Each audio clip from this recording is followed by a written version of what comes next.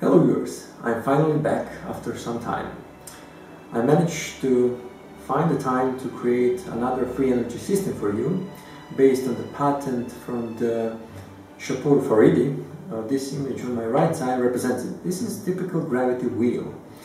And let's see now how he imagines and what he thinks it's necessary for gravity wheel to normally operate.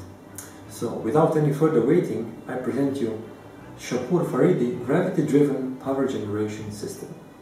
Alright viewers, so this is Shapour Faridi gravity-driven uh, power generation system or I would say a typical gravity wheel.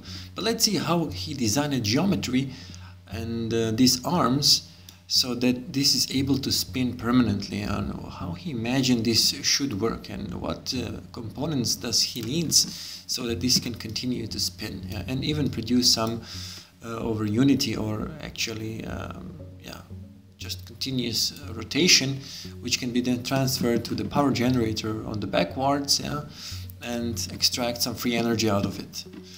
But let's see. So as you can see we have three arms yeah and now I design it on this circle how it's designed in the patent.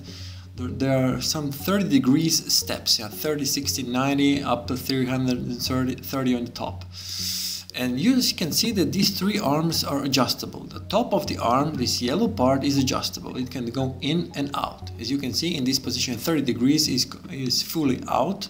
Yeah? And on this position 270 is fully in. Yeah? So basically you can now uh, understand why this should be like this because yeah, if, if we do not pull this out, then the system would stop, yeah, definitely, yeah.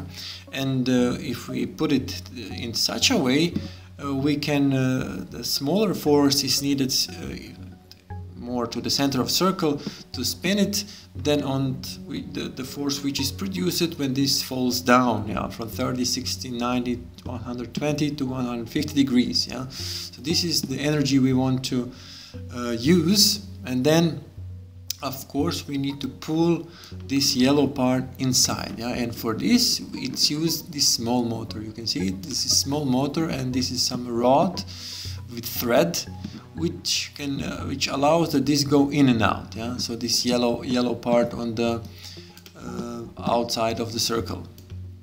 Yeah and of course in this position you can see that at 360 or 0 degrees it will be somewhere in the middle and then it goes up. Yeah for for pure start we need some outside energy that's for sure.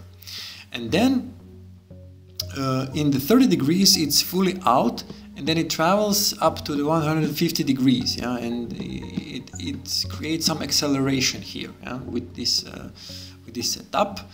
And at 150 degrees it starts going in uh, and this uh, green line represents this. Yeah this green line represents how uh, the, the path on which this um, yellow part will go inside to this point.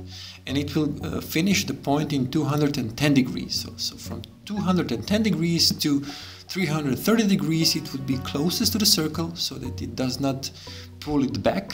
So the, the does not pull the wheel back and then from 330 degrees to 30 degrees would uh, again go up, be pushed by this motor up, up to the uh, end point here. Uh, so this red are weights, of course. Uh, weight will help to uh, achieve acceleration in the falling, uh, and then yeah, and it will not stop it when it goes back up. And of course, this system should be in a great scale. Yeah, so the this cannot be like on A4 paper. I think this, this is usable if we scale it to maybe this circle to be 20 meters.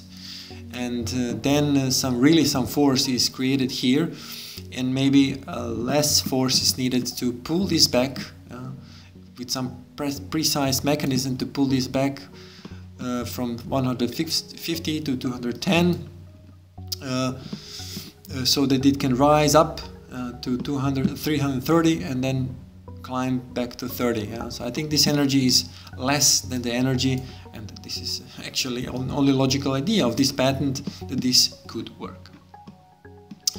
Alright viewers, so this is the gravity wheel now it really visually represents how this uh, uh, let's say this weight uh, should be distributed on the circle, uh, this yellow part with the weight on the top to achieve the, the rotation uh, that does not stop in the end.